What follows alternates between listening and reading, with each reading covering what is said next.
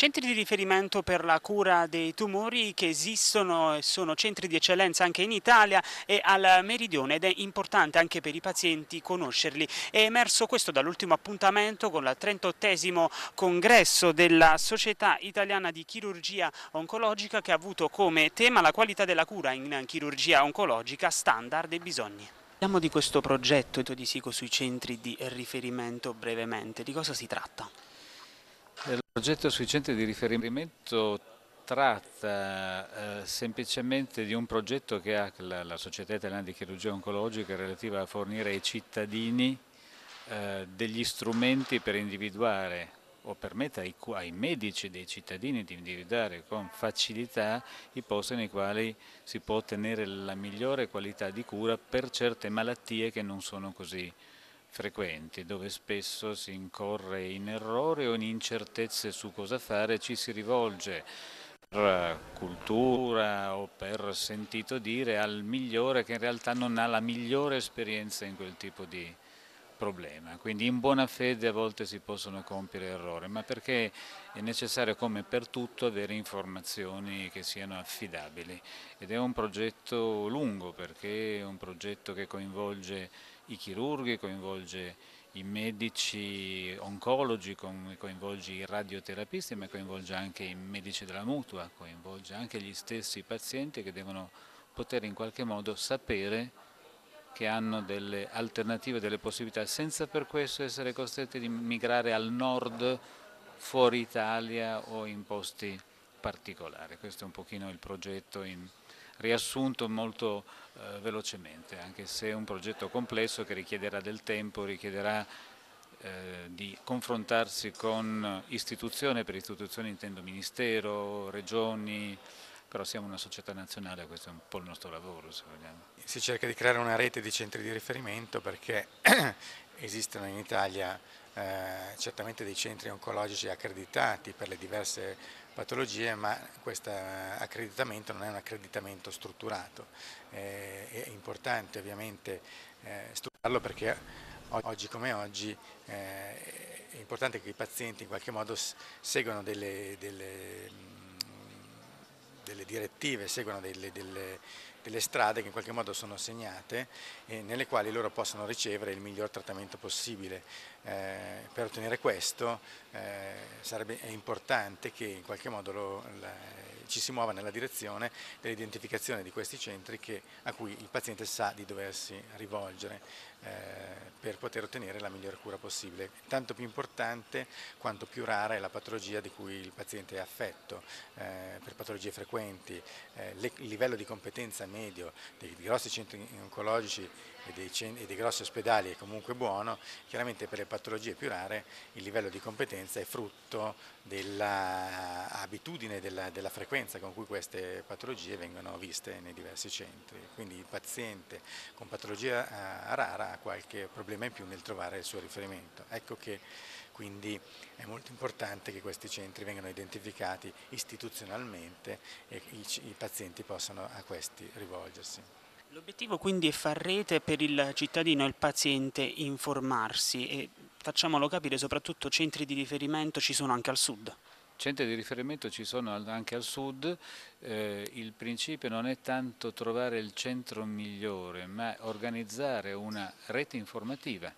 per cui anche i centri che non sono migliori possono contattare i centri migliori anche a distanza poter avere delle indicazioni sui migliori trattamenti, quindi poter garantire al cittadino senza bisogno di viaggiare per mezza Italia il trattamento migliore. Poi se c'è la tecnologia particolare o la particolare ehm, esperienza o professionalità ci si muove, ma ci si muove per un breve periodo per continuare poi vicino al proprio domicilio il trattamento più adeguato. Ci sono diversi centri di eccellenza in Italia eh, sparsi abbastanza su tutto il territorio nazionale, sicuramente ce ne sono a Napoli ed in Campania in generale, eh, ce ne sono in diverse regioni e quindi il viaggio della speranza chiaramente fatto senza un'indicazione specifica per un trattamento specifico non ha nessun senso. Noi eh, che io lavoro a Milano riceviamo pazienti da tutta Italia e molto spesso li rimandiamo ai centri locali e regionali che sono assolutamente in grado di farsi carico del loro problema. Eh, è importante quindi rivolgersi a un centro di riferimento lontano dalla propria regione se esiste un problema specifico per il quale la propria regione non è in grado, eh, di, affrontare, non è in grado di affrontare. Questo in genere avrebbe la pena condividerlo con i, con i medici che in qualche modo hanno in carico il paziente più che muoversi in autonomia eh, prendendo la valigia e sostanzialmente facendo migliaia di chilometri senza un motivo reale. Per alcune patologie però questo motivo esiste e lo sono in particolare quelle rare, ecco, cioè, ancora una volta sono i tumori rari quelli per cui ha senso muoversi. Per le patologie frequenti, in particolare parliamo ovviamente di tumori, eh, ogni regione è dotata di centri di elevata qualità e certamente lo è anche la Campania. Attualmente qual è il problema più grande in questo campo? L'incertezza, nel senso che di fronte a una diagnosi di tumore raro la prima cosa è che il, prima di capire che sia un tumore raro, da quando ti viene a quando ti viene fatta una diagnosi possono passare anche dei mesi, perché ci si passa il tempo a chiedere chi sei questa roba, cosa si fa. La seconda è che eh, spesso il tumore raro, essendo raro, quindi non comportandosi come le cose che conosciamo, eh, viene trattata come le cose che conosciamo e magari non è il trattamento giusto. E quindi il problema è il ritardo. L'altro problema è, sono i numeri, nel senso che noi parliamo di tumori rari, quindi sembra che la tipica cosa non capita a me, capita a lui.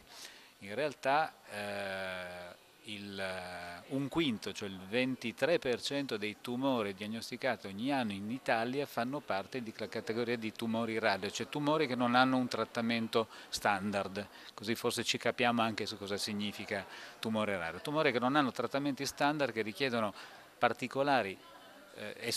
una particolare esperienza e capacità che non vuol dire capacità tecnica. Il miglior chirurgo della terra può trattare male un tumore raro perché non lo tratta come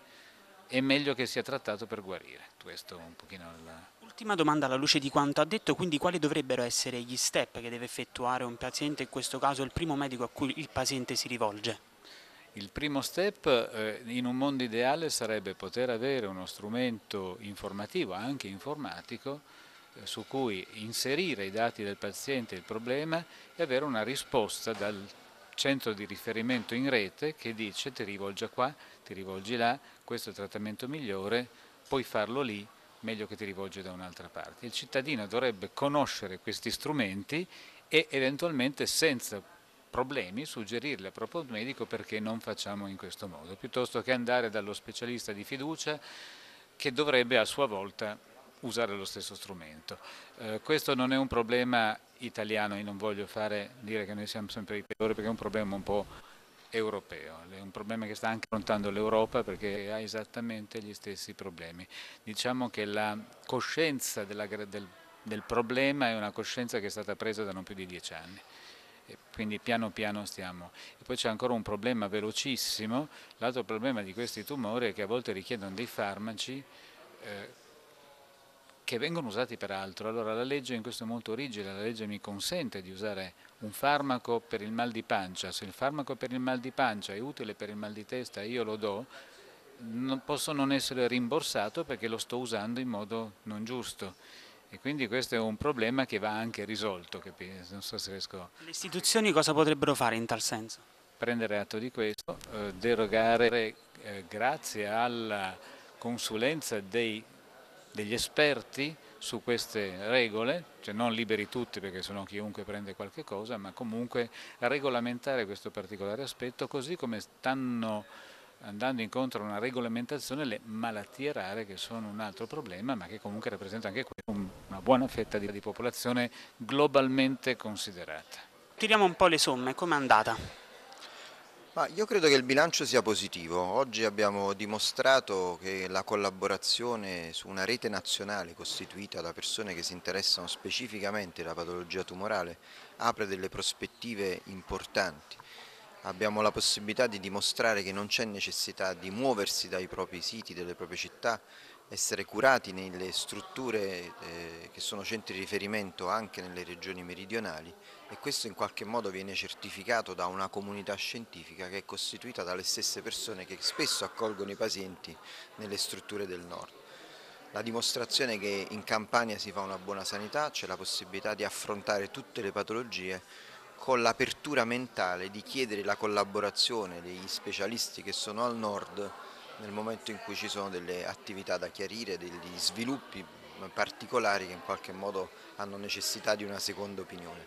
Quindi è un problema culturale che noi dobbiamo affrontare che è quello di convincerci che possiamo far bene le cose, le persone con tumore possono essere curate efficacemente nelle regioni del sud e questo viene un messaggio importante per tutti quanti. Rete e informazione quindi sono elementi importanti e imprescindibili non solo per i dottori ma soprattutto per i pazienti. In questo il vostro ruolo, quello dei media, è fondamentale. Eh, spesso prima si aveva paura di affrontare la parola tumore in televisione, alla radio, invece noi abbiamo necessità di parlarne perché questa è una malattia curabile e, e lo stesso parlarne in qualche modo esorcizza le problematiche che sono correlate, che è la paura della morte, la paura della sofferenza. Quindi in qualche modo l'informazione passa attraverso non la minimizzazione del problema, ma farci rendere conto che è una patologia che si cura. Ne parliamo, lo raccontiamo, dimostriamo la possibilità che questa cosa si può curare, come abbiamo fatto stamattina, mostrando i numeri reali, in qualche modo la gente si convince che questa è una patologia che può essere guarita.